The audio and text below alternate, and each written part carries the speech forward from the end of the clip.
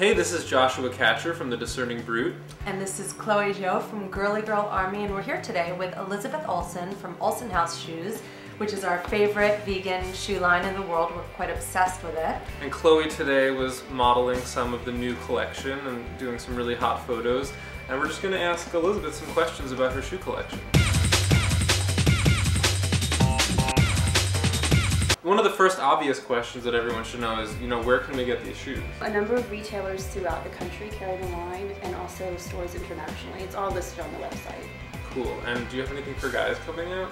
We do. I'm waiting on samples right now. Hopefully going to launch it for fall 09. As you know, Girlie Girl Army is a mailing list full of cruelty-free girls who don't wear leather or fur or wool or even silk. And so the question is, what inspired you to start a vegan shoe line? Well, I haven't eaten meat in 20 years, and I've been a vegan for the last two years, and there really wasn't a line of footwear out there that I wanted I wanted to wear. The other thing is I don't want to support lines that do um, synthetic shoes simply because it's cheaper, um, and they're not really paying attention to the effects that it has on the environment. And I really wanted to research different types of materials you could use besides PVC and PU. Right. So what is the next shot you're doing? Let me see those shoes. These are the most comfortable ever shoes. I have these in three different colors. You know I have them in black and I have them yeah, in white yeah, yeah. splatter. And these are just a new, I guess, a new colorway, but they feel like like they feel like snakeskin, don't they? Yeah. Minus the murder and brutality. Excuse me, I have to go to the bathroom. Josh. Are you I have my heart ring. Yeah. What's this? Elizabeth, do you have anything to? That's a headband. You should wear it. Actually, Totally should wear it like that. Incredible. You look like that commercial, you know, where the Indian woman has one tear running down her eye for pollution. Oh. it's a man. Oh, I thought she was just butch. Most people don't know that typical shoes that are made from leather, the tanning process is so terrible ecologically. And they think that leather, because it's a natural product, that means that it's healthy and that it's safe for the environment. And not only is it coming from a really cruel, you know, industry, but it's also really devastating to the ecosystem. That, and I think that a lot of people think that leather is just a byproduct, and there are cows that are, and other animals that are killed specifically for their leather.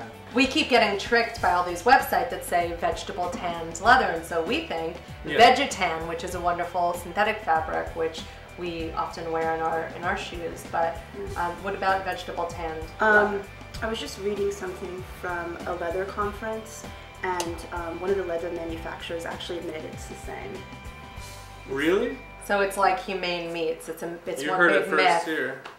I It's had no idea. It's the same thing. It causes the same amount of pollution.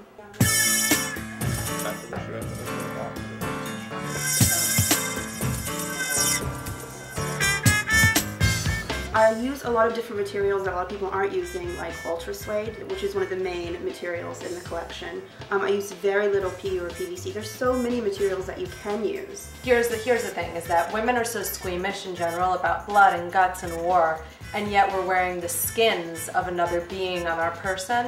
It's so incongruous. And so when we look at, at lines like Olsen Haus and we see our options, stylish, beautiful, elegant, just matches everything, but also are fashion forward. There's no question as to making the switch.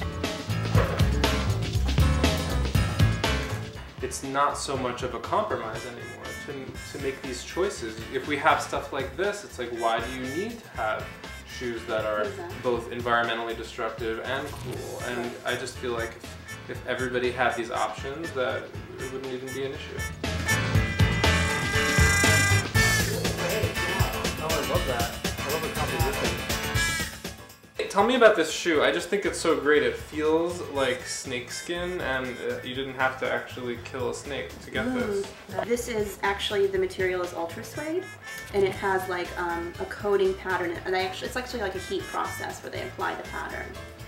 When I saw these shoes and these shoes and the rest of this Those amazing baby line, cute. I wanted to procreate instantaneously. I think I started ovulating as I was looking at the shoes because these are just to die for precious. They are are. cuter than Those cute. are So, so cute. Yeah. A children's gladiator sandal. There's That- nothing that to is- That is so clever. so We'll hopefully see. we'll be seeing Olsen Haus everywhere soon. Yes. If you guys support it, which I hope you do. Thanks, Elizabeth. Thank you, Chloe. Oh, now we now Vegan love. we reveal our hippiness now. Does anybody have granola? granola?